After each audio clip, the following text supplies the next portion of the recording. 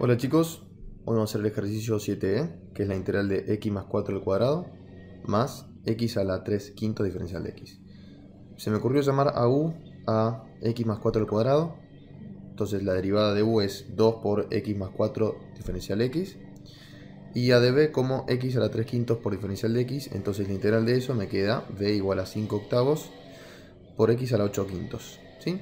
Es simplemente una integral con exponente normal.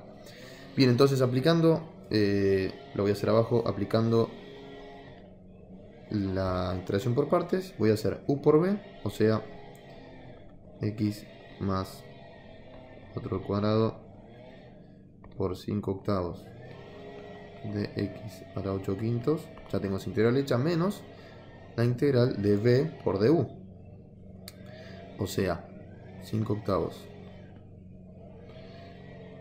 x a la 8 quintos por du, que es 2x más 4 diferencial de x. ¿sí?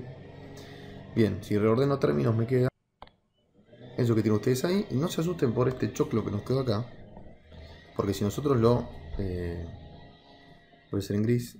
Si nosotros lo eh, desarrollamos sin el 5 cuartos, nos va a quedar la integral de x 8 quintos por x diferencial de x más la integral de 4 veces x 8 quintos diferencial de x. O sea, me va a quedar un, integral, o sea, puedo aprovechar la propiedad de distributiva de, la, de, la, integral, ¿sí?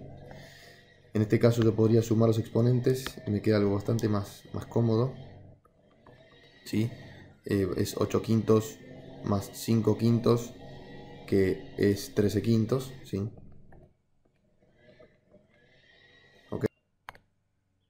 Y simplemente tengo que hacer la integral de esto y la integral de esto, que son fáciles, porque yo ya sé que tengo que sumar y dividir eh, por eh, exponente sumado 1. Entonces, escribiéndola finalmente y haciendo todo en un paso, me va a quedar 5 octavos x más 4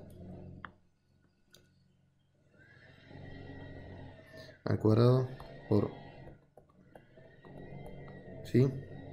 Menos 5 cuartos que multiplica estas dos de acá. Que las voy a integrar en un solo paso. Voy a dejar todo expresado si no se confunden. Más 1 sobre 13 quintos más 1. Más 4 veces x.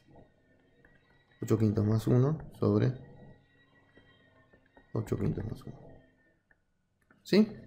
Es un choclo, pero no es ningún choclo que no hayamos hecho ya, así que eh, no se vuelvan locos. Es simplemente hay que ir por, por pasitos, ¿sí?